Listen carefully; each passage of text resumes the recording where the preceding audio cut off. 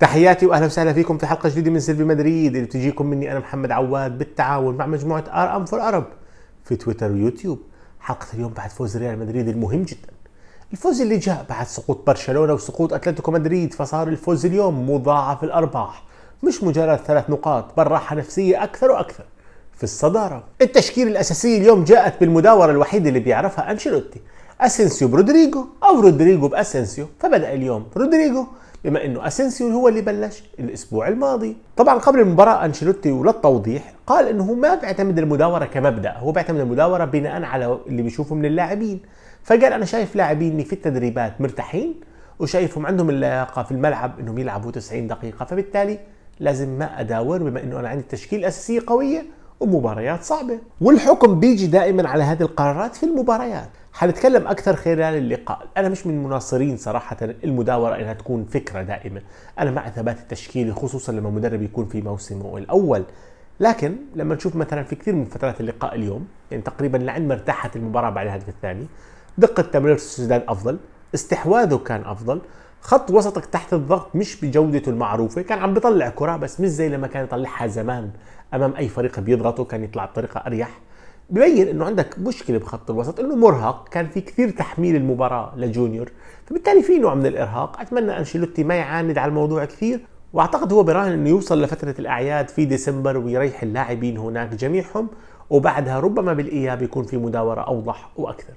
أول ربع ساعة في اللقاء كانت تورينا وين المباراة رايحة. سوسيداد بده يرفع الرتم ويلعب بالسرعة والحماس وريال مدريد ما بده ذلك لأنه بمر بفترة كثير مباريات صعبة ورا بعض وكل ثلاث أيام مباراة. ريال مدريد كان بده الموضوع بالهدوء بالحكمة اللي هو متعود فيها. وخلال هذه الفترة والمعركة مين بده يفرض رأيه على الآخر؟ جاءت الإصابة اللي ضربت. كثير حسابات ريال مدريد. إصابة كريم بنزيما وخروجه. ويقال حتى الآن إنه احتمال يغيب عن المباراة الجاي واللي بعدها يعني على الإنتر وأتلتيكو مدريد. ريال مدريد لما يخرج عنده كريم بنزيما يعني بيخرج عنده اللاعب اللي بيرتكز عليه ما بين الوسط والهجوم. يعني بيخرج عنده اللاعب اللي جزء أساسي من فلسفته الاستحواذية. عشان هيك شفنا الريال بيرجع شوي شوي أكثر يفكر بالمرتدات ربما وبصير تركيزه تماما على الأطراف. جميع التمريرات بتروح لجونيور رودريجو. يوفيتش لاعب صندوق مش عم بتحرك مش عم بتعود. لاعب غابي كثير عن المباريات فما بتتوقع منه من أول لحظة ينزل. فاهم شو لازم يعمل. بس أنا عندي تحفظ كبير على اللي صار في الشوط الأول للحظة الهدف الأول في الشوط الثاني. هي تحميل كل شيء لجونيور ومش أول مرة عم بتصير. لما الفريق يتضايق بتحس الفريق عنده التوجه كامل بتعطي الكرة لجونيور وجونيور بينطلق بانطلاقاته جونيور سلاح خطير وهو أخطر أسلحة ريال مدريد من الناحية الإبداعية حاليا ومن ناحية خلخلة الدفاعات حاليا. هذا لا نقاش فيه. مهارته ممتازة قدرته ونضجه عم بيزيدوا كل مباراة عن اللي قبلها. لكن في فرق بين إنك تعتمد عليه وتجعله الفكرة الوحيدة اللي صار اليوم بأول 50 دقيقة كان هو الفكرة الوحيدة. لأنه لما يصير الفكرة الوحيدة شوي شوي الخصوم حيصيروا عارفين يتوقعوه لما يصير بهذا الوضع حيصيروا عارفين كيف يحطوا مساندة أمامه. نعم حيمر وحيعذب وحياخذ فاولات لكن في كثير مباريات حتكون حركته مجرد استنزاف بدني له مش أكثر. ربما الإرهاق تاع خط الوسط هو اللي بيبرر اللي حصل إنه هو مش قادرين يكونوا الجزء الثاني والفكرة الثانية الموجودة في ريال مدريد اليوم لكن لقدام هذا الشيء لازم يتم تجنبه. بس حتى لما أتكلم عن ثلاثي الوسط والإرهاق لازم ننتبه انهم بالنهاية عملوا اللي عليهم دفاعيا بشكل مثالي. هجوميا نعم ما أعطوا الفرق الكبير لكن كانوا وصلوا الكرة للثلث الأخير وهذا اللي كان مطلوب منهم اليوم. يعني عرفوا ينجحوا بالخبرة عرفوا ينجحوا بالانسجام المش طبيعي اللي بينهم. وهذا اللي بيراهن عليه أنشيلوتي بيراهن على خبرتهم يمشوا هذه الفترة. من الأشياء اللي شفناها مباراة اليوم مثلا انه ريكو لاعب سوسيداد متفوق بشكل واضح على رودريجو في المواجهات الفردية لكن رودريجو مش فكرة هجومية.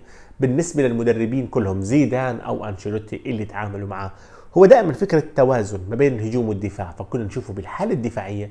دائما موجود قريب كثير من كارفاخال يساند كارفاخال. ما في عند ريال مدريد جناح بيعطي هذا المجهود الدفاعي غير رودريجو. لا أسينسيو بيعطيه ولا هازارد بيعطيه. دفاعيا مباراة ريال مدريد كانت مثالية صمود كبير تحت فترات الضغط الأولى في الشوط الأول وبالشوط الثاني بعد التقدم. مجاراة لسرعة سوسيداد لما يحاول يلعب الكرة بشكل أسرع وأيضا كانوا ممتازين في الكرات الهوائية. وتمركز خط الوسط مع خط الدفاع مع عودة المهاجمين. كان دائما عم يمنع لعيبة سوسيداد يدخلوا الكرة بسهولة لمنطقة الجزاء. ما كان فيك تلك التمريرة اللي تحط إيساك في منطقة الجزاء لأنهم كلهم واقفين صح. زوايا التمرير أقل ما يمكن. ما بين صمودهم ما بين هدوءهم ما بين تركيزهم قدموا مباراة مثالية خط دفاع ريال مدريد اليوم. طبعا الهدف اللي سجله جونيور بصناعة يوفيتش في الشوط الثاني أخذ المباراة لمنحى آخر تماما. طبعا هو بهذا الهدف شفنا جونيور هو اللي انطلق هو اللي خلق المساحة. بعدين يوفيتش اعطاه إياها فالهدف يعني فعليا جونيور بيظهر فيه قديش عنده قدرات حسم مختلفة مش بس إنه يسجل. لا بسجل وبزعزع وبيفتح دفاع لوحده. لكن ميزة هذا الهدف إنه خلى فكرة الارتداد اللي كان يعتمد عليها أنشيلوتي اليوم منطقية أكثر. ليش منطقية؟ لأنه سوسيداد بالشوط الأول ما كان مطالب يغامر كثير. لأنه نتيجة تعادل. لما صارت 1-0 صار مطالب إنه يطلع أكثر. فصرنا نشوف جونيور بتيجي كرات في مساحات أوضح بعد هذا الهدف.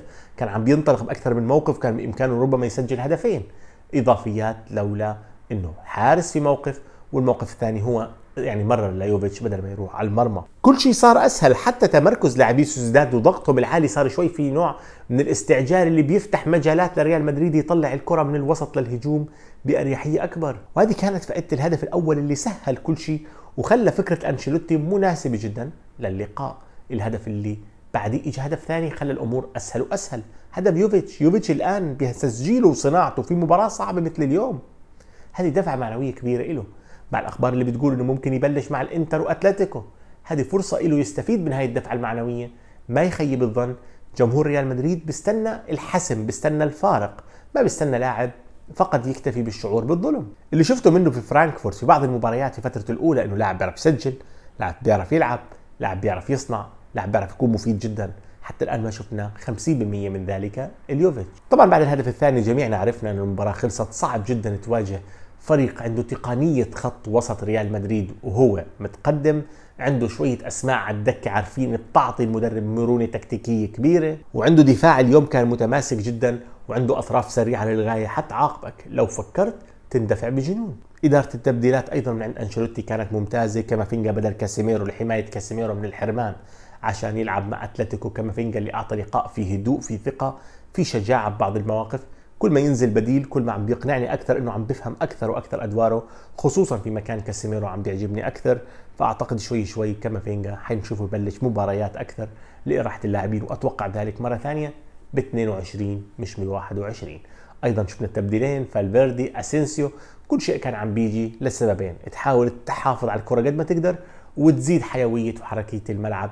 أنشيلوتي أدار التبديلات بشكل ممتاز اليوم. وقبل ما أختم لازم أوقف مع ايدير ميليتاو المدافع الممتاز الخارق جدا صراحة هذه الفترة. مش اليوم بس في كثير مباريات. هو لاعب واحد لواحد ممتاز جدا. قراءته لكرات الخصم ممتازة جدا. وحتى في الإضافة الهجومية شفنا تمريرته اليوم. أكثر من مرة شفنا منه تمريرات طويلة عم بتحسن بالكرات الهوائية موجود دفاعيا وهجوميا وثقته بنفسه وشجاعته لافتة للغاية. إيه، صراحة عم بتطور أكثر وأكثر يكون أحد أهم لاعبين ريال مدريد وأحد أهم المدافعين بالعالم بلا شك. نوصل هون لنهاية الحلقة. كنت معكم أنا محمد عواد موجود فيسبوك تويتر إنستغرام. وضروري جدا تتابعوني على سيلفي سبورت في اليوتيوب. والسلام عليكم ورحمة الله.